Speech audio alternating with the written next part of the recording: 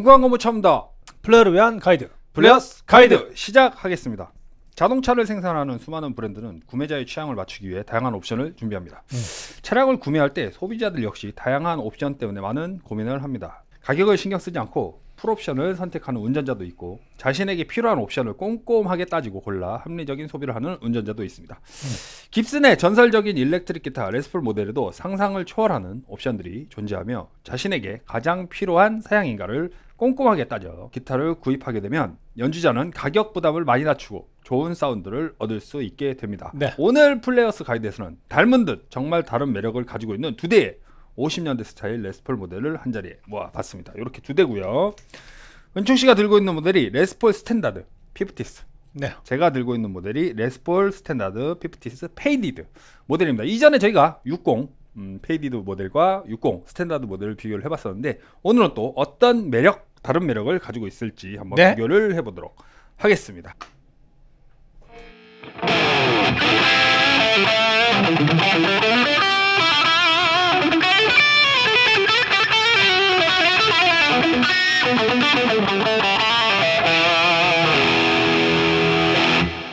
그죠? 아, 좋습니다.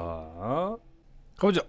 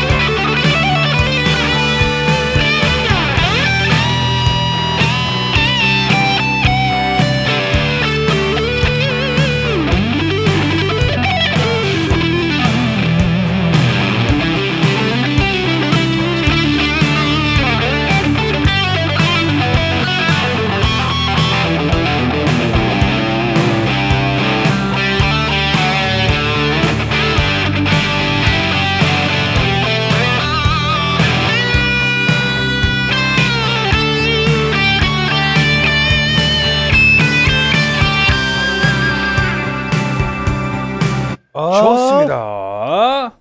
역시 레스폴과 마샬의 조합은 시원시원하네요. 음,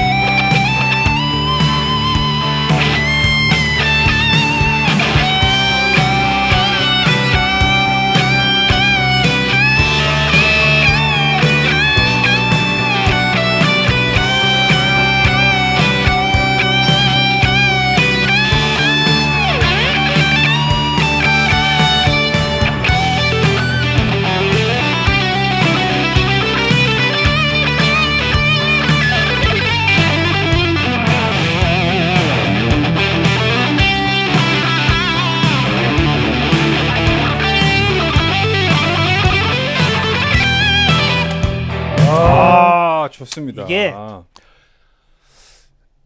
리뷰를 해야 되는데 중간에 자꾸 잊어요. 그래서 뭔가 치다가 재밌으니까 자꾸 더 가려고 해서 이제 정신을 중간 중간 차려야 되는데 아이 그쵸? 그러니까 지금 어쩌면은 또 이 기타 두 대를 보면은 또 많은 생각을 하실 분들이 생길 것 같아요. 그 왜 그러냐면 우리가 일단 전통적으로 Les Paul 이라는 기타를 누구를 통해서 어 좋아하게 된, 된다거나 아니면 어떤 뮤지션을 통해서 좋아하게 된다고 했을 때 보통 약간 좀 두 가지 결로 나뉘는 것 같아요. 이제 게리 무어 형님과 음.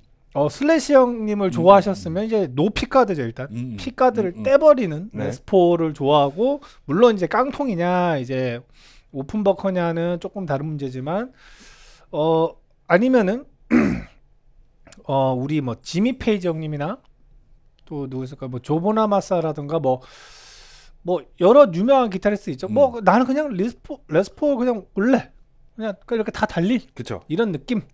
그리고 아무래도 뭐 지미 페이지 형님의 이제 Les Paul은 조금 좀 특이하긴 하지만 뭐 개, 개조도 돼 있고.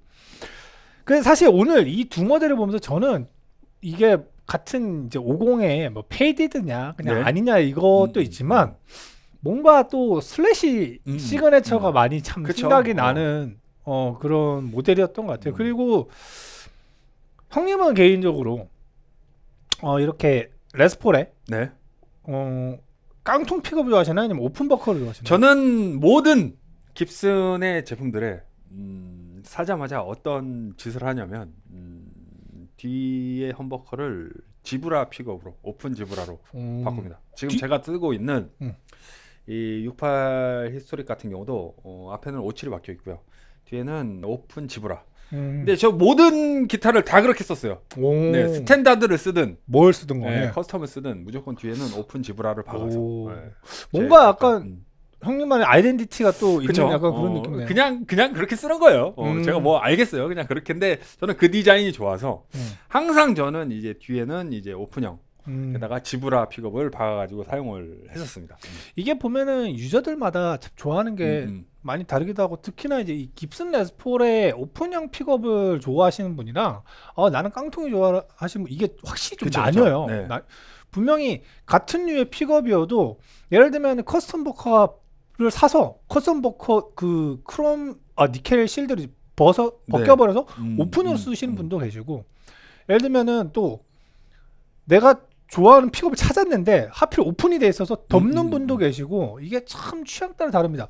그 오늘은 이제 외관적인 부분이라든가 이런 데서 좀 힌트를 많이 얻어야 될 것 같은데 저는 약간 좀 그런 게 있어요. 지금 연주를 해보면서 음.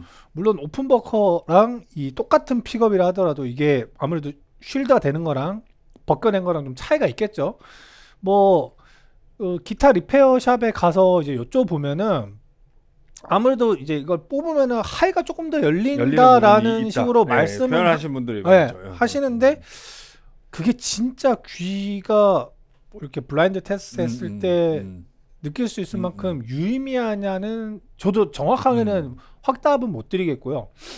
근데 제가 오늘 느낀 이두 기타의 차이점은 큰 차이는 없는데 음. 제가 요, 요즘 따라 그거는 좀 많이 느껴요. 요거 같은 경우는 어쨌든 간에 이제 글로스 처리가 돼 있지 않습니까? 근데 안 돼 있잖아요. 네.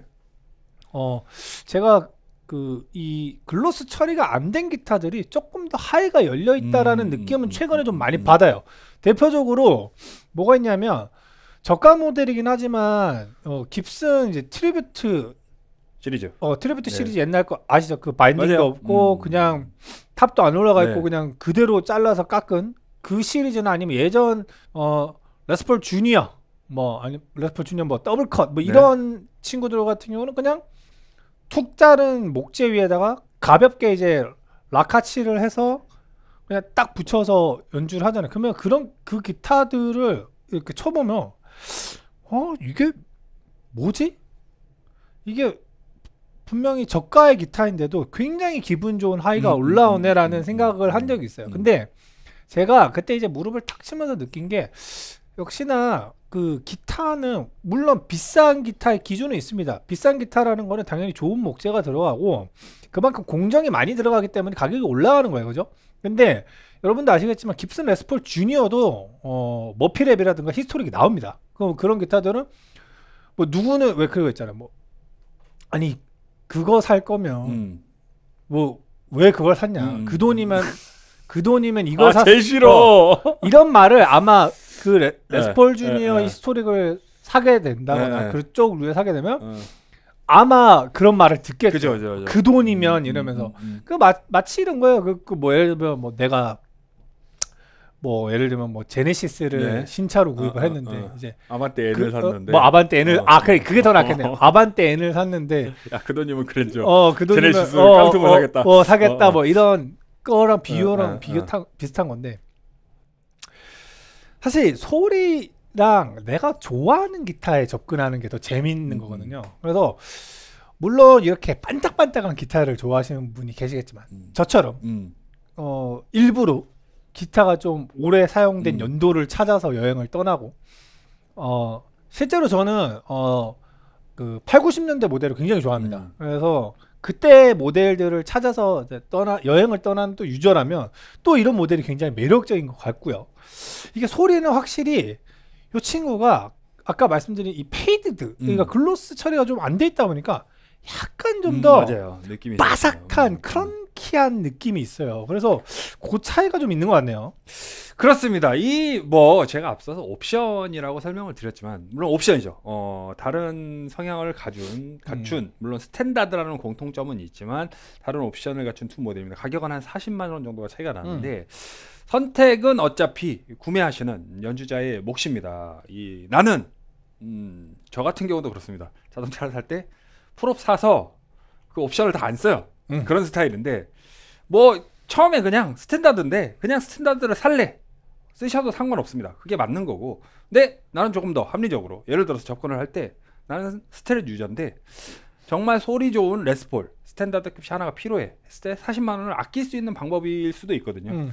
그러니까 선택은 연주자들의 몫이기 때문에 오늘 사운드를 들어보시고 음, 디자인 정도만 좀 더 고민을 하시고 자신한테 좀 더 잘 맞는 레스포를 한번 선택해 보시기를 추천드립니다. 네. 저희는 다음 시간에 또 다른 주제를 갖고 찾아뵙겠서 약속드리고 이 시간 마무리 짓도록 하겠습니다. 궁금한 거 묻혀본다. 플레이를 위한 가이드. 블레스 가이드. 가이드 다음 시간에 뵙겠습니다. 감사합니다.